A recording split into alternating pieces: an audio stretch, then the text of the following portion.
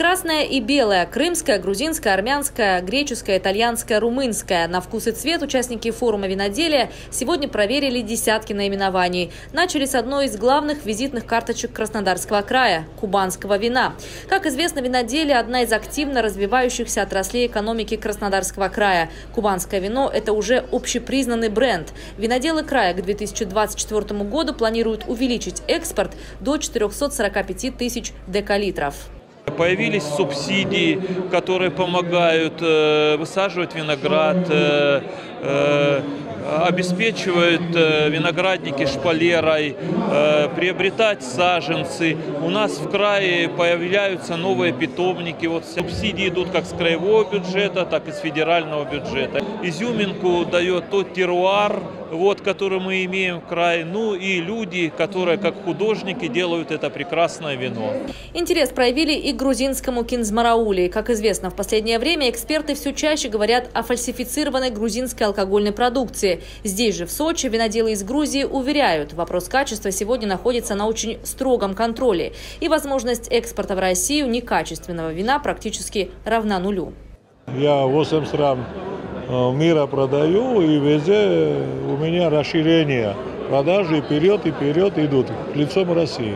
Был период, когда приостановлена была, после этого, как она открылась, так и что мы работаем. У нас очень хорошие, серьезные партнеры, россияне в Москве, и продаем.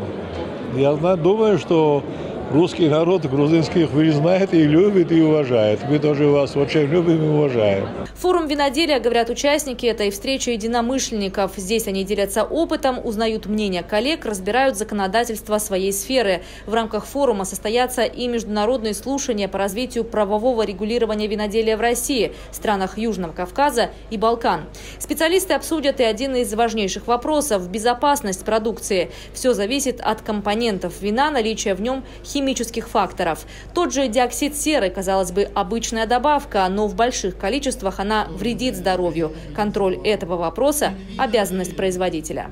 Сегодня конкуренция очень большая, и, в общем-то, качество и безопасность будет на первом месте. Проверяет это Роспотребнадзор. И если они приходят с проверкой и документов нет вообще, сразу же штраф 300 тысяч. Если это второй раз, то штраф уже 600 тысяч. Если была какая-то жалоба, было отравление от какого-то производителя, штраф 700 тысяч, и следующий уже миллион, и вплоть до закрытия и уголовной ответственности. По итогам форума будет составлен список лучших вин Черноморского побережья. Отличившиеся получат медали и рекомендации от экспертов. Ольга Десятова, Инга Габеша, Михаил Дубинин, телекомпания «ФКТ».